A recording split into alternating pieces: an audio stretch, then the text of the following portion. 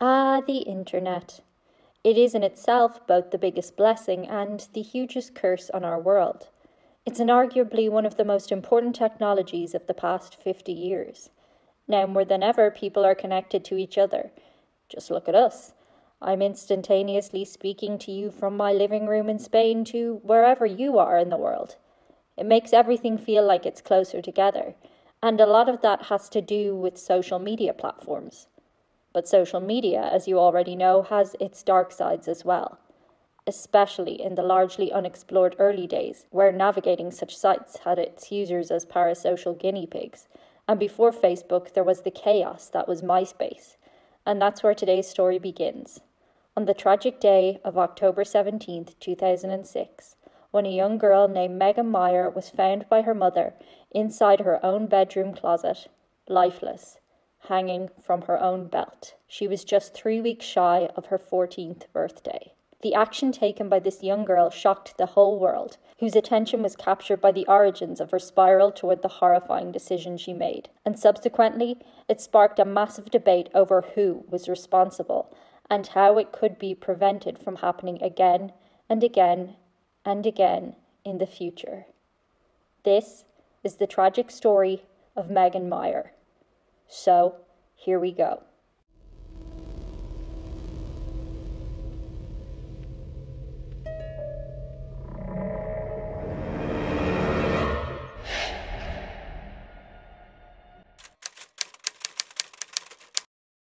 Megan Meier was born in the town of O'Fallon, Missouri on November 6, 1992.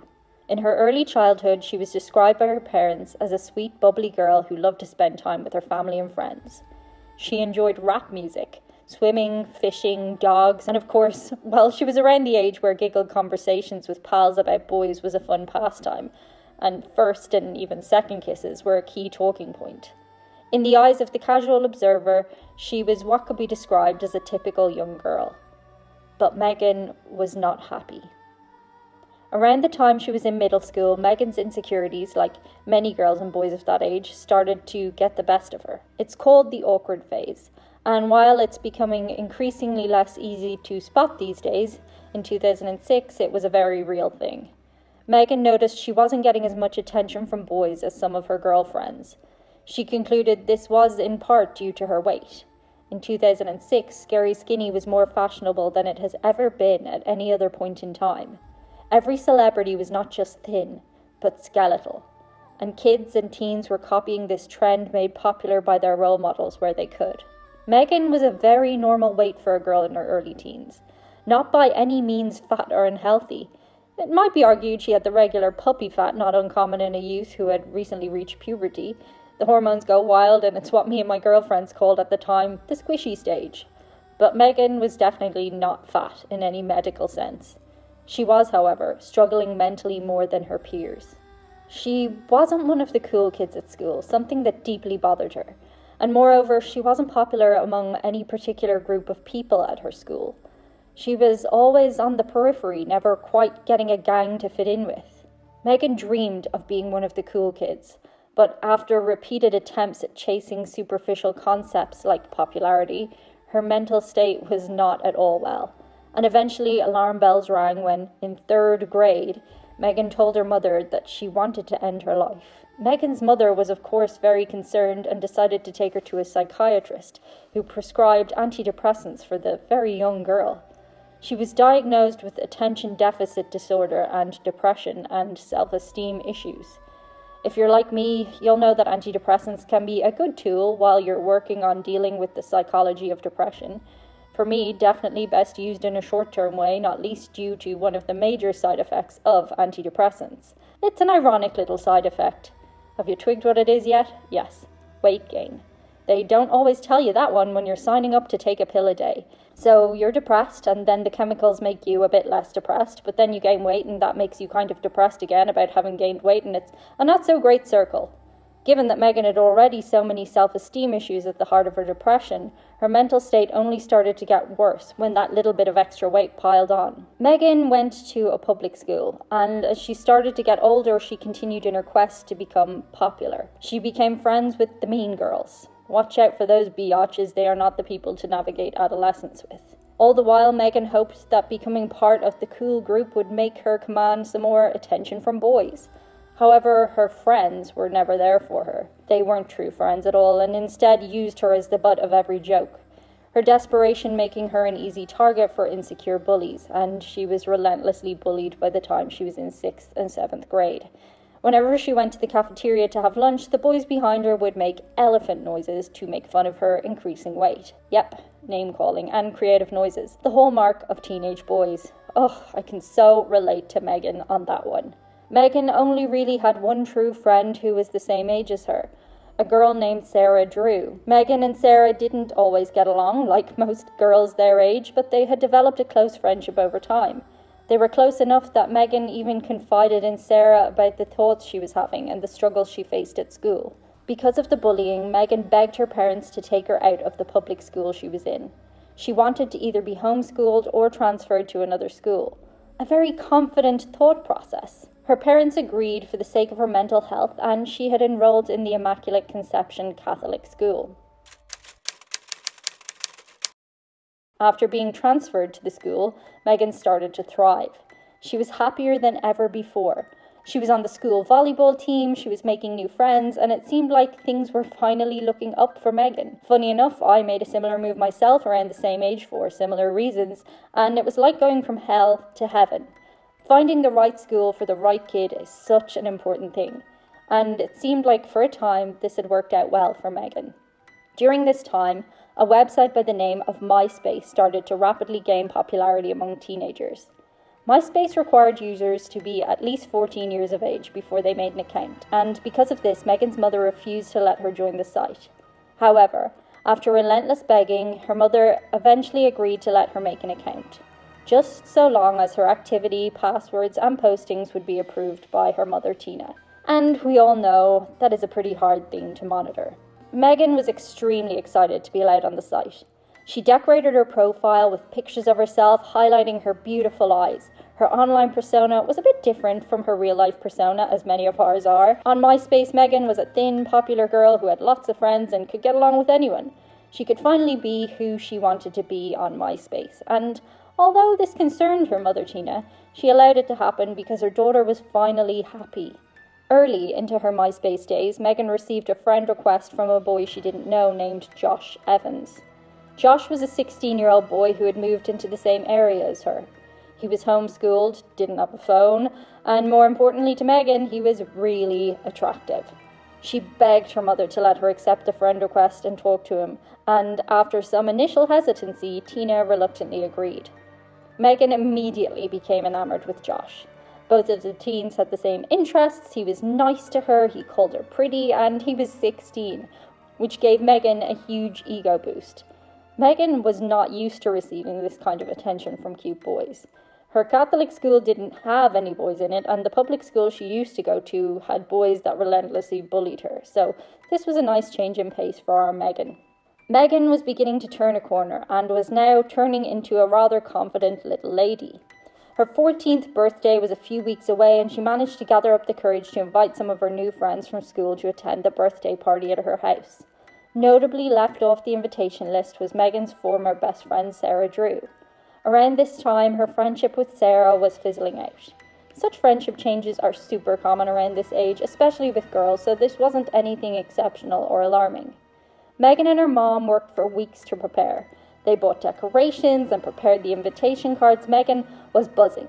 It seemed like she was finally getting her dream come true. When she got home that day, she logged onto MySpace as she usually did to talk to Josh, something she looked forward to doing every single day.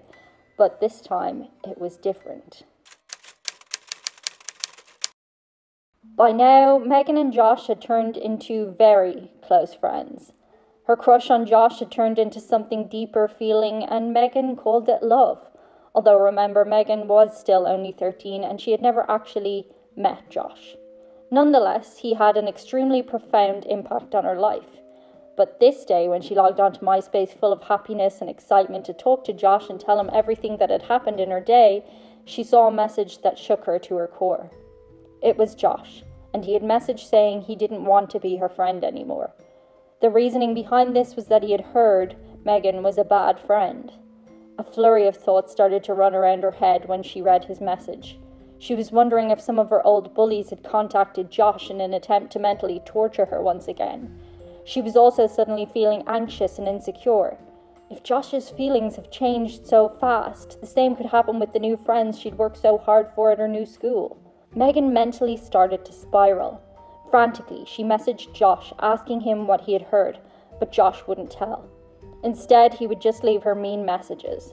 She was absolutely devastated, not just because she was losing the boy who she thought was the love of her life, but also because she thought it would lead to the same kind of bullying that she'd experienced in the past. Her mother tried to console her, saying that Josh was probably just having a bad day. When Megan went to bed that night, she couldn't sleep. All she could think of was Josh, the bullying, her future, and the dark thoughts crept back into her head. She wondered did she even want to live anymore.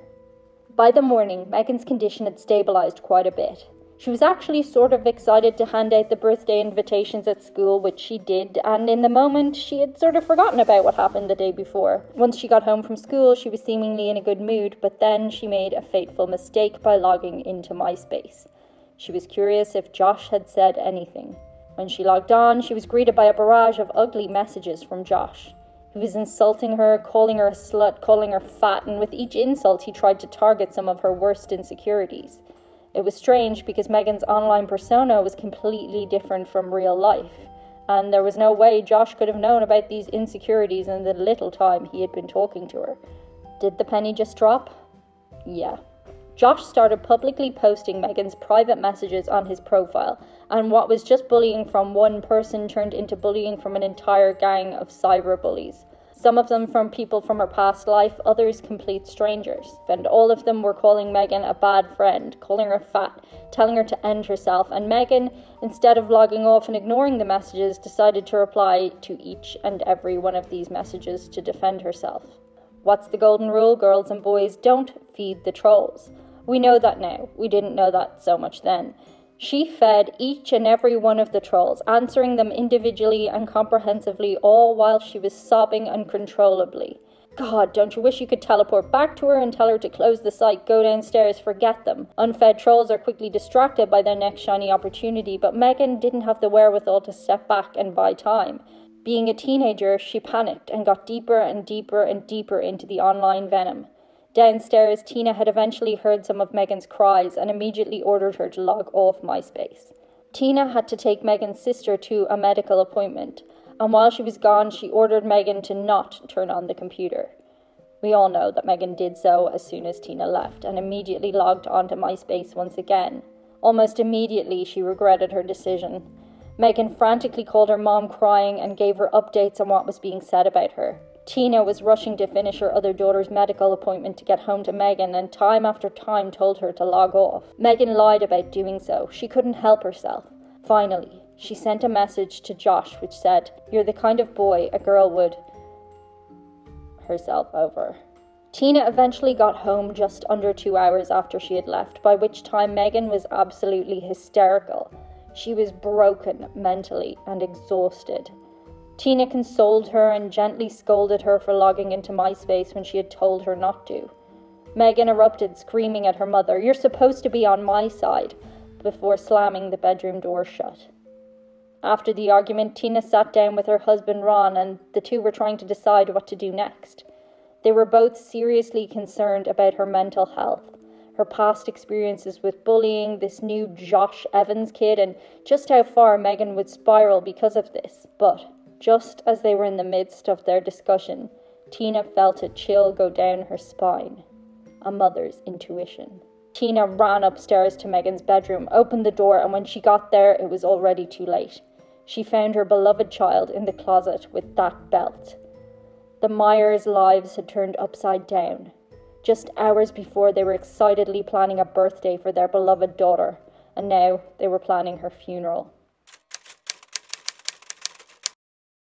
Tina, Ron, and everyone else close to Megan was obviously distraught by her death, and Laurie wanted answers on who was behind all of this. A few weeks had passed since Megan's funeral, and Josh Evans hadn't posted anything on his MySpace account. Just as Tina started to lose all hope, she received a phone call. It was from another mother who lived in the same area as her. And this woman claimed she knew who was behind Josh Evans's account. And it might come as no surprise to you, but remember this was all new territory. As it turned out, Josh wasn't some 16 year old boy. The Josh Evans account was run by a woman named Laurie Drew. Yes, Drew, the mother of Megan's former best friend, Sarah Drew. Laurie had lived in the same neighborhood as Tina and Ron. The woman who called them told Tina that Laurie had not only created the account, but she had asked her and other neighbors to join in on the bullying. Apparently, Laurie created the account to see if Megan was talking behind her daughter's back, but it eventually turned into a way to mess with Megan. What a fun pastime for an adult woman. In an era before we had a name for it, Laurie Drew was one of the very first catfish. Initially, Laurie outright denied having access to the account, but eventually it became undeniable. There was an abundance of evidence. She said she never knew Megan was mentally ill. This was clearly false since Laurie had had to administer Megan's antidepressant meds in the past, back when Megan used to hang out in their house and sleep over. Eventually, the police got involved and they managed to uncover that Laurie had written the vast majority of the messages sent to Megan. Despite all of that, county officials decided not to charge Laurie Drew with any kind of crime, since sending me messages online wasn't technically considered a crime under US law. Not at that time, anyway. But just one year later, Laurie was indicted in a federal lawsuit, and she was eventually convicted of fraud for creating the fake account, since she had violated the MySpace terms of service. Very quickly, though, this conviction was overturned, and Laurie would eventually be acquitted of all charges. The reason why the conviction was overturned was that violating a company's terms of service could not in any way be considered federal law. There was simply no crime to charge Laurie with. This is why, much to everyone's displeasure, Laurie remains a free woman to this day, having suffered zero consequences. While Megan didn't receive justice, she did ignite a nationwide and international debate on the consequences of cyberbullying. MySpace, Facebook, Twitter, and all other social media platforms would eventually begin enforcing strict rules against cyberbullying, and because of this case, more and more people would become aware of the dangers and prevalence of catfish accounts. The story of Megan Meier is one that's impossible not to get absolutely furious about. The fact that there were adults involved in driving an innocent young girl to this point is absolutely sickening. In the end, justice was certainly not served by any means. What do you think would have been an appropriate legal punishment for the people behind pushing Megan to this point? Do you think the laws in the US and several other countries go far enough in punishing cyberbullies? Let me know in the comments below, and as always, don't forget to hit the thumbs up and subscribe to my channel for more videos like this. Until we speak again, sending you good vibes. Stay safe out there.